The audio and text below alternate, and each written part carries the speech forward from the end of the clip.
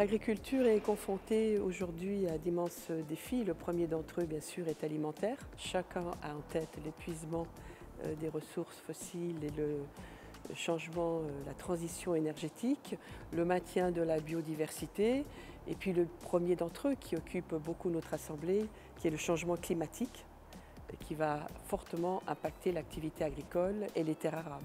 Nous savons également qu'aujourd'hui, les demandes des consommateurs évoluent, que nos concitoyens sont préoccupés par les pesticides, qu'il y a là un enjeu considérable à trouver une alternative. Et puis, et peut-être aurais-je dû commencer par cela, eh bien, il y a aussi la viabilité, la durabilité de nos exploitations agricoles et des agriculteurs en France.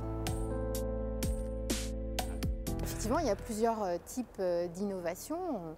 Il y a des choses qui nous sommes euh, plus proches que nous, c'est euh, l'innovation technologique. On n'a pas toujours conscience en fait que l'innovation euh, est présente en agriculture, mais on a aujourd'hui beaucoup de tracteurs qui sont hyper connectés avec des GPS beaucoup plus pointus que ceux qui existent en fait dans, les voitures. Il y a aussi toute l'innovation agronomique. Elle a été extrêmement importante pour l'agriculture parce qu'elle a permis en fait de, travailler sur les, les variétés, sur les choix des espèces. Euh, donc il y a l'innovation aussi numérique. Euh, aujourd'hui, euh, le data est très présent en agriculture. La donnée agricole aujourd'hui est très, importante et elle, est elle aura même source de valeur demain.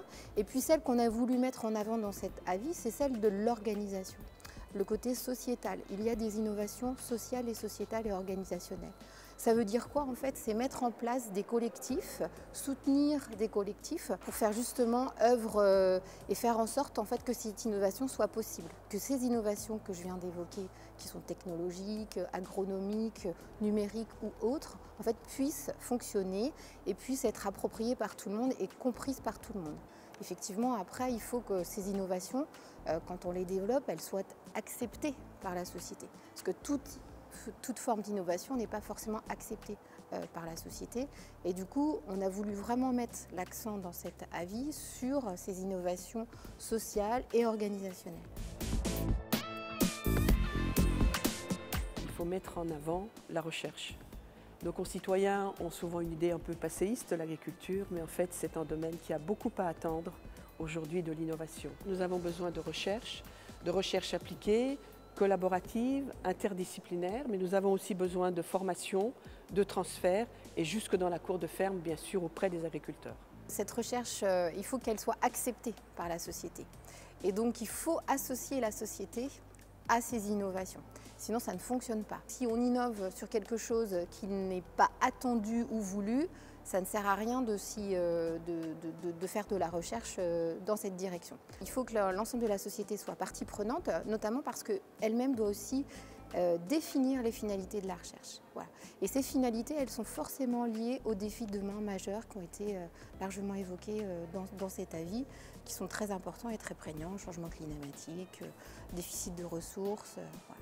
Dans les préconisations, nous avons aussi voulu, en lien avec les États généraux de l'agriculture, mettre en avant l'innovation dans chaque plan filière qui est absolument indispensable. Chacun doit bien avoir conscience que l'agriculture est aussi une source de solutions face aux défis qui nous attendent.